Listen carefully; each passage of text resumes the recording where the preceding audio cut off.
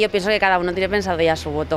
O sea, por mucha campaña que tú hagas, bueno, también pueden ayudar a mm, tirar para un lado o para otro, pero más o menos en lo que tú piensas ya lo tienes bastante decidido. Más o menos yo creo que cada uno ya tiene decidido el suyo. A mi particular lo veo así. Y yo pienso que eh, a veces lo tienes decidido, pero según cómo te dan la vuelta, a lo mejor puedes cambiar, pero creo que sigues con el mismo voto.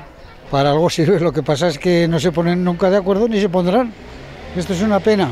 Yo creo que cada uno tiene ya decidido el voto, aunque estamos un poco despistados. No sé, yo todavía no sé lo que voy a votar.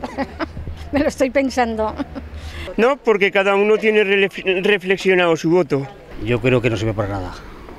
Porque más o menos las ideas las tienen ya echadas ¿eh? la gente.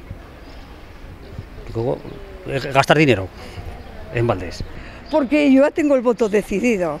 Sé para quién tengo que votar y, y para mí no, pero yo creo que a personas sí que les gusta y, y quieren y les y quieren saber a quién votar.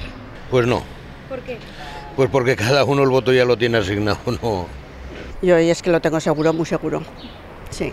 ¿Y ha sido gracias a la campaña siempre. electoral? No. No.